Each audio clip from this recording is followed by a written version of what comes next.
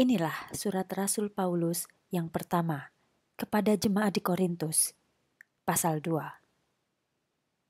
Hikmat yang benar. Saudara sekalian yang saya kasihi, waktu saya pertama kali mengunjungi saudara, saya tidak menggunakan kata yang muluk-muluk dan pikiran yang hebat-hebat untuk menyampaikan berita Allah kepada saudara.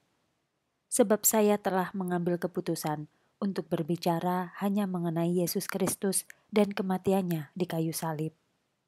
Saya datang kepada saudara dalam keadaan lemah, takut, dan gentar.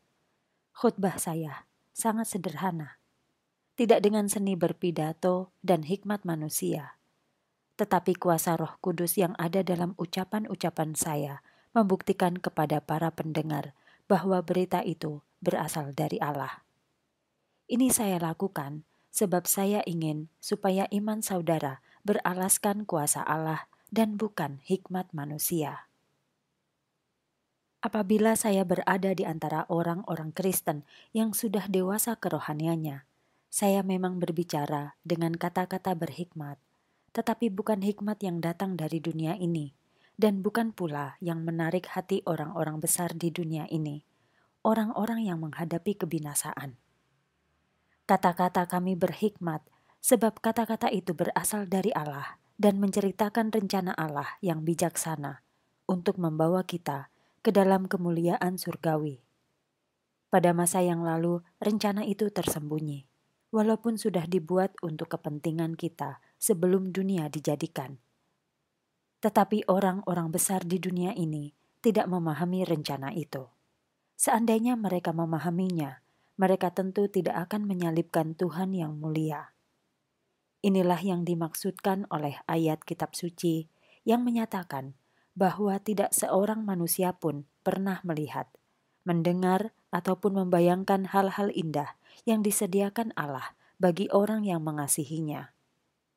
Tetapi kita mengetahui hal-hal ini karena Allah telah mengutus rohnya untuk memberitahu kita Rohnya menyelidiki dan menyatakan kepada kita segala rahasia Allah yang paling dalam sekalipun. Tidak seorang pun benar-benar mengetahui apa yang sedang dipikirkan orang lain atau bagaimana pribadi orang itu sebenarnya, kecuali orang itu sendiri. Dan tidak seorang pun dapat mengetahui pikiran Allah, kecuali roh Allah sendiri. Dan Allah benar-benar telah memberikan rohnya bukan roh dunia ini, kepada kita untuk menerangkan karunia-karunia yang diberikan dengan cuma-cuma berupa rahmat dan berkat yang dilimpahkan Allah kepada kita. Dalam memberitahukan karunia-karunia ini kepada saudara, kami menggunakan kata-kata yang disampaikan kepada kami oleh Roh Kudus, bukan kata-kata pilihan manusia.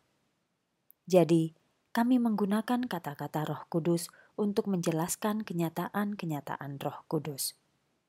Tetapi orang yang bukan Kristen tidak dapat memahami dan menerima pikiran Allah yang diajarkan oleh Roh Kudus kepada kita. Baginya pikiran itu kedengaran bodoh, sebab hanya orang yang memiliki Roh Kudus dapat memahami apa yang dimaksudkan oleh Roh Kudus. Orang lain tidak dapat memahaminya.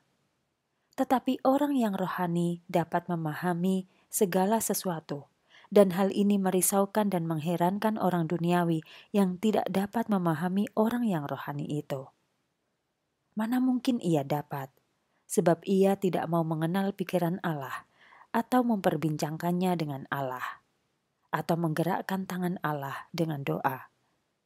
Tetapi, walaupun mungkin aneh kedengarannya, kita orang Kristen benar-benar memiliki sebagian pikiran dan kehendak Kristus.